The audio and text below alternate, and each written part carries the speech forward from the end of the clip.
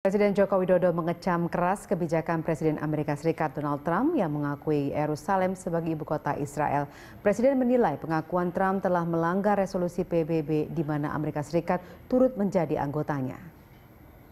Menyikapi pernyataan Trump, Presiden Joko Widodo menyesalkan hal tersebut dan menyatakan akan menghadiri konferensi tingkat tinggi Organisasi Kerjasama Islam atau OKI yang akan digelar di Istanbul, Turki 13 Desember mendatang. KTT ini disuruhkan oleh Presiden Turki Recep Tayyip Erdogan untuk secara khusus membahas reaksi atas pernyataan mengejutkan Trump yang mengakui Yerusalem sebagai ibu kota Israel.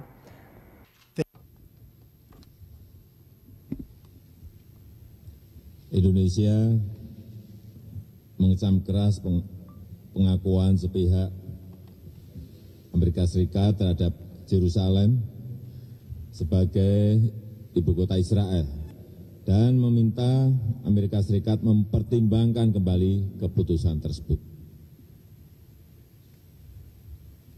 Pengakuan sepihak tersebut telah melanggar berbagai resolusi Dewan Keamanan dan Majelis Umum PBB yang Amerika Serikat menjadi anggota tetapnya. Ini bisa mengguncang stabilitas keamanan dunia.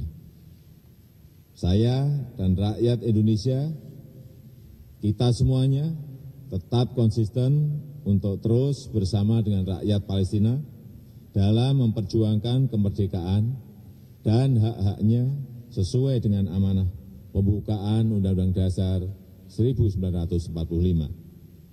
Dalam beberapa hari ini, pemerintah Indonesia telah berkomunikasi dengan negara-negara OKI